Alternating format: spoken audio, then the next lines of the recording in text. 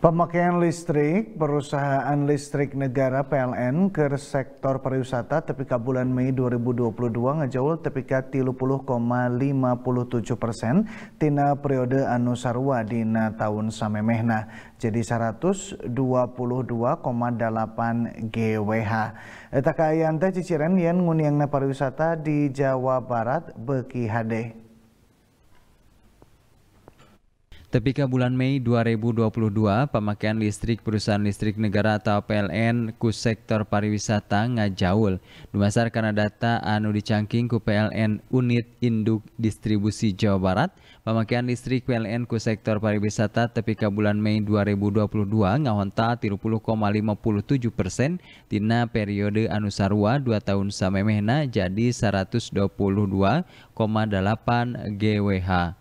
Manajer Komunikasi dan TJSL PLN UID Jabar Iwan Ridwan nandesken upama nilai karena dua tahun samemehna atau awal usum sasalad akumulasi angka konsumsi listrik sektor pariwisata ngaronjat secara signifikan. Eta halte nandakeun yen nguniang na pariwisata di Jawa Barat beki poeteh beki HD.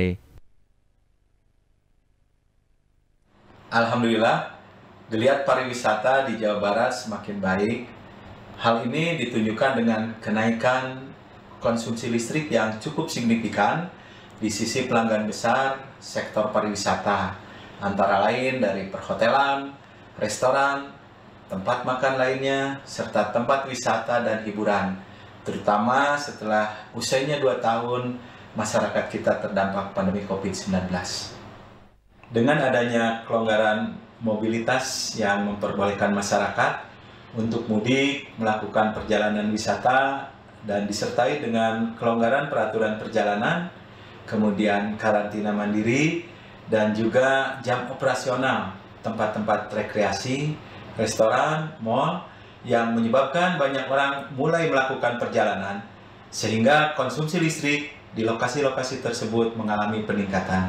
Selain itu, sudah mulai banyak kegiatan dilaksanakan di tempat wisata, dan banyak hari-hari libur di bulan Mei kemarin, sehingga semakin banyaknya kesempatan masyarakat untuk berwisata.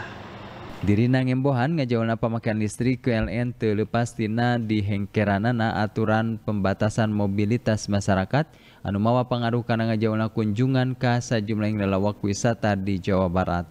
Yuana Kurniawan, Bandung TV.